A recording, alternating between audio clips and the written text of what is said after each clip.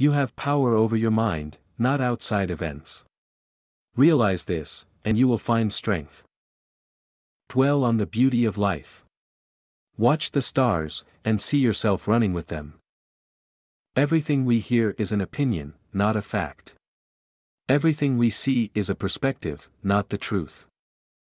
If you are distressed by anything external, the pain is not due to the thing itself, but to your estimate of it, and this you have the power to revoke at any moment. When you arise in the morning think of what a privilege it is to be alive, to think, to enjoy, to love.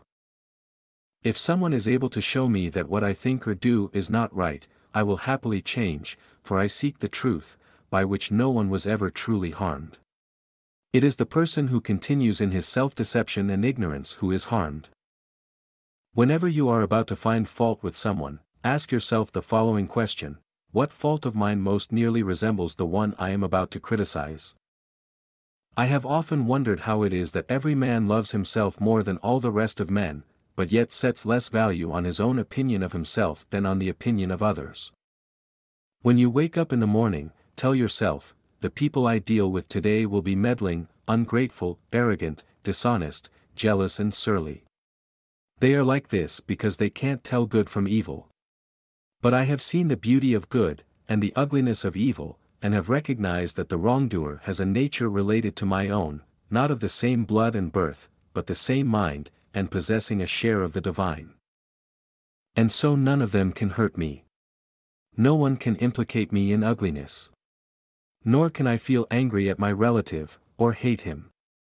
We were born to work together like feet, hands and eyes, like the two rows of teeth, upper and lower. To obstruct each other is unnatural. To feel anger at someone, to turn your back on him, these are unnatural. When another blames you or hates you, or people voice similar criticisms, go to their souls, penetrate inside and see what sort of people they are. You will realize that there is no need to be racked with anxiety that they should hold any particular opinion about you. Live a good life. If there are gods and they are just, then they will not care how devout you have been, but will welcome you based on the virtues you have lived by. If there are gods, but unjust, then you should not want to worship them. If there are no gods, then you will be gone, but will have lived a noble life that will live on in the memories of your loved ones. Begin each day by telling yourself, today I shall be meeting with interference, ingratitude, insolence, disloyalty, ill will, and selfishness, all of them due to the offender's ignorance of what is good or evil. You always own the option of having no opinion. There is never any need to get worked up or to trouble your soul about things you can't control. These things are not asking to be judged by you. Leave them alone. Begin each day by telling yourself, today I shall be meeting with interference, ingratitude, insolence, disloyalty, ill will, and selfishness, all of them due to the offender's ignorance of what is good or evil.